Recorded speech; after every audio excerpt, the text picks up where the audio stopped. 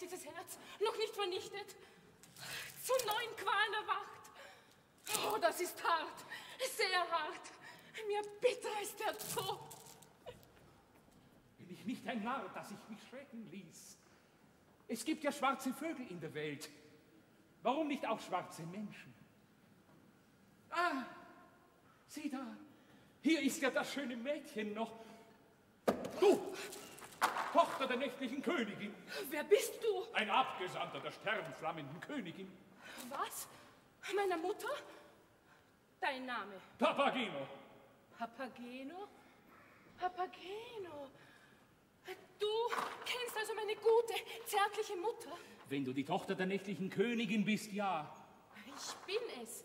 Das will ich gleich mal sehen. Die Augen schwarz. Augen schwarz, richtig. Braune Haare, braune Haare, richtig. Die Lippen rot. Lippen rot. Alles trifft ein, bis auf Hände und Füße. Nach dem Bildnis dürftest du nämlich weder Hände noch Füße haben. Wie kam es in deine Hände? Das war so. Als ich heute früh meine Vögel abgeben wollte, sah ich einen Menschen vor mir, der sich Prinz nennen lässt. Dieser Prinz hat deine Mutter so eingenommen, dass sie ihm dein Bildnis schenkte und ihm befahl, dich zu befreien. Sein Entschluss war so schnell als seine Liebe zu dir. Liebe. Er liebt mich also. So haben wir keine Minute zu versäumen. Um die Mittagszeit kommt Sarastro gewöhnlich von der Jagd zurück. Sarastro ist nicht zu Hause? Dann komm, schönes Fräulein, du wirst Augen machen, wenn du den Jüngling siehst.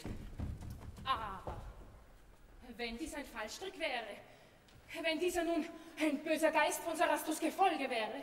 Ich? Ich, ein böser Geist? Ich bin der beste Geist von der Welt! Freund, vergib, vergib, wenn ich dich beleidigte. Du hast ein gefühlvolles Herz. Freilich habe ich ein gefühlvolles Herz, aber was nützt mir das? Ich möchte mir alle Federn ausrupfen, wenn ich bedenke, dass Papageno noch keine Papagena hat. Du hast also noch kein Weib? Kein Weib? Nicht einmal ein Mädchen! Und uns einer hat doch auch bisweilen seine lustigen Stunden, wo man gern so gesellschaftliche Unterhaltung haben möchte.